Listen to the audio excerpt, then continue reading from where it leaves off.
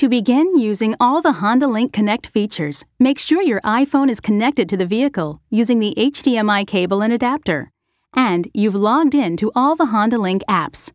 The display audio system will then seamlessly integrate the next generation Honda Link software.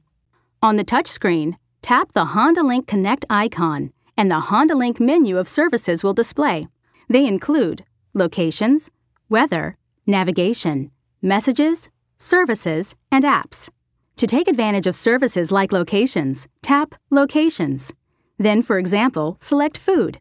Then make your restaurant choice and tap Map to send it to the navigation system, where you can set it as a destination. To quickly get to your other installed Honda Link or approved third party apps, tap Apps and then select the app you'd like to open.